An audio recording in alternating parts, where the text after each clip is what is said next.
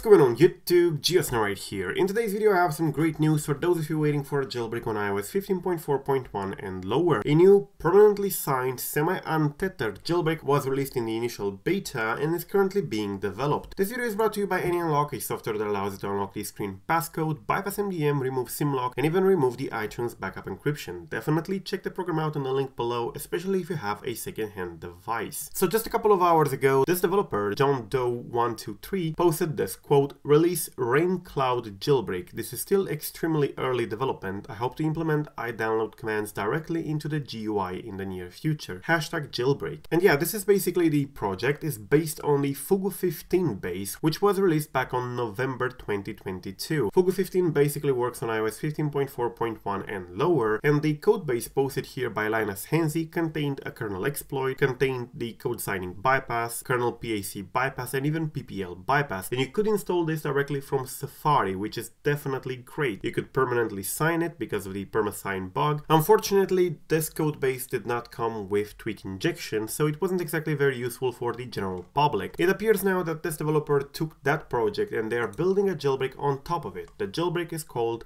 Raincloud. And this one is a semi-untethered, permanently signed jailbreak for iOS 15 and they are currently building on top of that. So they posted a while ago a video with the interface, which appears to be this one over here. So yeah, this is going to be the interface for this jailbreak. It looks like this. Once you press jailbreak, you're basically jailbroken. And a lot of people say that this is not going to have tweaks. Well, for the moment, it's unknown. Here on the page, on the Raincloud, it does say on the FAQ that they will never add support for tweak injection. However, this was copied straight from the Fugu 15 15. The developer did not modify the FAQ page of the Fugu 15, so it's possible that they're trying to add tweaks as well, because otherwise they would be just remaking Fugu 15, so there would be no point. There is also this tweet that they made a while ago, back on February the 5th, which basically shows tweak injection into Springboard with Fugu 15. So yeah, that goes to show that they are indeed trying to get tweak injection with this jailbreak. Right now this jailbreak doesn't have tweak injection as far as I know, but it's still in development and compared to like checkra1n or palera1n and stuff like that, that this is meant for all devices, including the newer ones like the iPhone 13, 14, 11, 12 and stuff like that. So when this will be completed, it will support iOS 15.4.1 all the way down to 15.0. So these versions in here will be supported. If you're running 15.5, 15.6 and stuff like that, the exploit that was provided with the Fugu 15 is not compatible, so this will not work either. However, if you have any device on those versions, 15.4.1 or lower, you're definitely good, so definitely wait for this to be released